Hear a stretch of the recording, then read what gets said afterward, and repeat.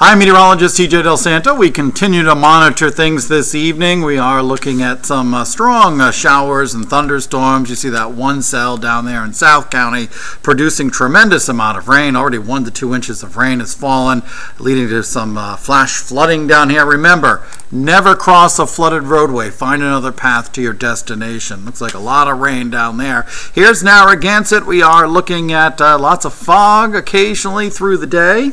You can see for now at least, we maybe have a little peek of sun. Satellite radar picture showing that uh, downpour a dying thunderstorm in southern Rhode Island, a smattering of showers across the northeast. We do have an area of low pressure to our uh, south. That will uh, continue to work its way on off to the north and east, passing to our south over the uh, next uh, 24 hours. Hour by hour forecast, we are looking at that cell to kind of quiet down, then lots of clouds, some areas of fog during the overnight.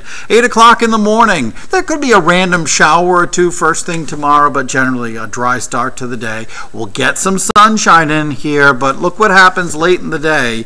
It'll be very warm and humid, and then during the evening, we'll be monitoring for the possibility for a line of thunderstorms to work its way into southern New England. So, your forecast for tonight, we have that chance of a shower or a thunderstorm early on, then just lots of clouds and foggy conditions. It'll be quite humid overnight with overnight lows about 70. For tomorrow, we're looking at highs in the mid to upper 80s with very humid conditions and the chance for a couple of showers, maybe an isolated thunderstorm during the day, but again, we'll be watching for that possibility of a line of thunderstorms to arrive during the evening hours. Hey, be sure to follow me on Facebook, Instagram, and Twitter for a lot more weather related information, weather alerts you need as well. So, again, a shower, thunderstorm, sun could be producing some very heavy rain and flash flooding. So if you are in the path of uh, any of those kind of storms, be sure to stay indoors.